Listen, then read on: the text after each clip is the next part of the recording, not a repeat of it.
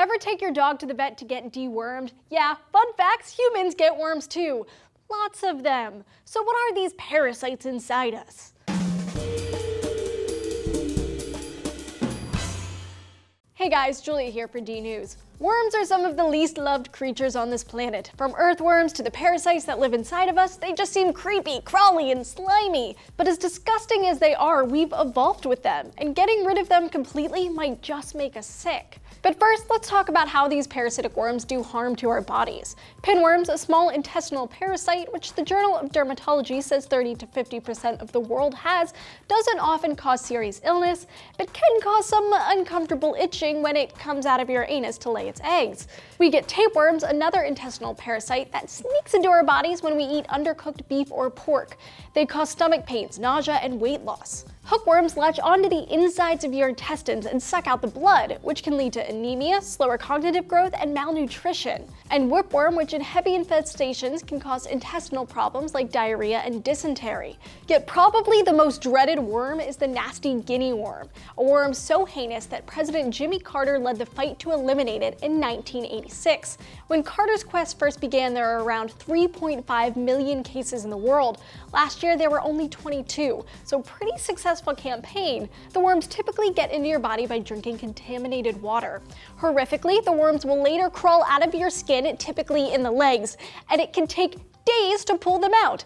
Days. When leaving the body, the wounds they create can sometimes lead to deadly infections. So I agree with Jimmy Carter and say good riddance to these guys, but how do our bodies not get rid of them in the first place? I mean, humans evolved with some of these parasites for at least 10,000 years, according to a study published in the journal Science Translational Medicine. We might even have a symbiotic relationship with them. They scratch our backs, we scratch theirs, or more like we give them a home and food, and they calm down our immune system. Seriously, there's evidence of this. Well, one study published in the journal Nature found that some parasitic worms actually change our immune systems. And according to the book, The Th2 Type Immune Response in Health and Disease, several studies in mice show that parasitic worms suppress the immune system. They promote certain populations of regulatory cells in the body called TREGs and B regulatory cells. These cells play important roles in reducing the severity of autoimmune diseases and allergic inflammation. By dampening down the immune systems, the worms won't get attacked, while at the same time, the mice get a break from allergies and other autoimmune diseases. As for how parasitic worms affect humans, well, that's a little more complicated because infecting humans with parasitic worms doesn't seem like that fundable of a study. But that didn't stop one guy. A case study published in the journal Science Translational Medicine found that one person voluntarily infected himself with human whipworm and claimed it successfully treated his ulcerative colitis. Basically, the worms lowered uncomfortable gut inflammation and promoted mucus production, which is important for healing. One of the authors of the paper told NPR that other studies suggest suggest parasites keep the immune system in check and prevent it from going wild and attacking healthy tissue. While that's just one guy, another recent study published in the Journal of Allergy and Clinical Immunology found that hookworms reduce the symptoms of celiac disease, another autoimmune disease. So while parasitic worms seem pretty nasty, okay, they are really nasty and have caused a lot of harm, but maybe by keeping our immune systems in check, they continue to live inside of us, they actually give us a little benefit. Gross. If you don't find it all that gross, why don't you just start your own website like wormsaren'tgross.com?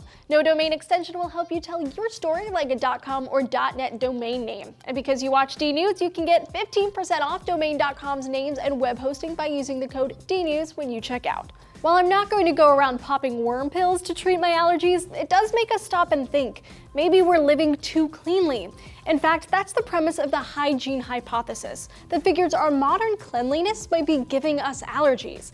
To find out more, check out this episode right here. Another recent study published in the journal Pediatrics found that kids who grew up in a house where dishes were hand washed, not where they were sterilized in a dishwasher, had fewer allergies. The kids also reportedly had reduced rates of related illnesses like eczema, asthma, and hay fever. So have you ever had a parasite infection? Tell us about it down in the comments below. Don't forget to hit those like and subscribe buttons and keep coming back to DNews so you don't miss a single episode.